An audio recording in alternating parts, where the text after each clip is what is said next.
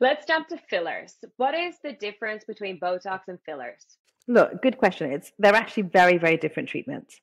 So Botox, as we said at the start, is a muscle relaxant. It's only going to work on the muscle and it works by just reducing that crinkling effect of the muscle. So if you think of like a paper bag, not that your skin is a paper bag, but someone comes into you and they want them their wrinkles improved. The um, your skin, like is if you've just got repeated movements, the Botox works on just relaxing that paper bag or the muscle and stops the fine lines and wrinkles.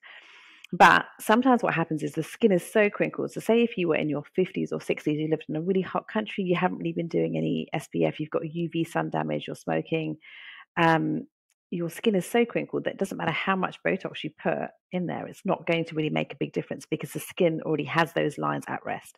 So, what you would then need is something that's going to volumize. So, it kind of would be like putting a little sandwich in the bag and making it look better. So, it still doesn't get rid of all the wrinkles, but it, it plumps your skin out.